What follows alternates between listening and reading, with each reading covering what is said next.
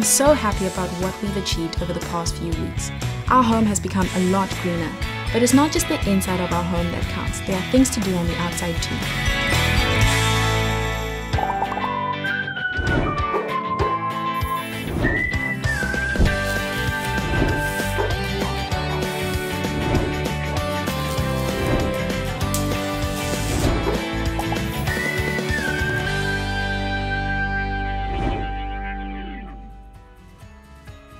I'm responsible for maintaining the swimming pool.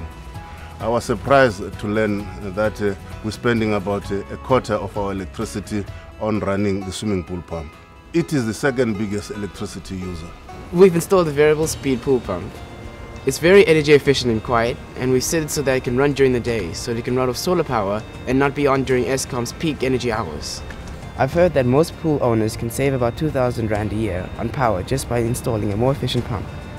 We're recycling the water from the pool's backwash process. The backwash water goes into a tank and we add a flocculant and leave it for a day. Then we can pump the water back into the pool again.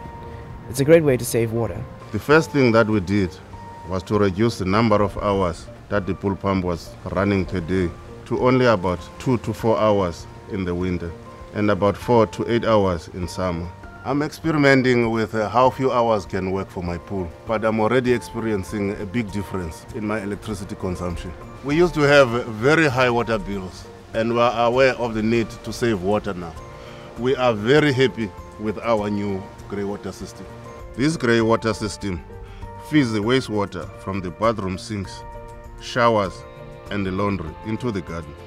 This has helped to reduce our water costs, especially in the dry months when we would normally be using lots of fresh water for watering the garden. We live quite close to my school, so I usually walk or cycle there. I'm testing out this electric bike for a few months, and all my friends are green with envy. Now I can recharge the battery using our solar power too, which means savings for us and the environment. Using public transport is always great if it's an option because it saves money and air pollution but unfortunately I don't have public transport from my house to college so instead I'm going to be investigating more environmentally friendly vehicles for my future. Carbon tax is already applied to new cars being sold, so it shows which ones use more fuel and emit more, and I will be avoiding those. These days, there are also options for vehicles which use alternative fuels, and lots of research is going into this. I mean, I've done a test drive of a hybrid car which offers great long-term savings, and maybe my next car won't even use petrol. I mean, it could run on gas or even electricity generated by the sun. Who knows?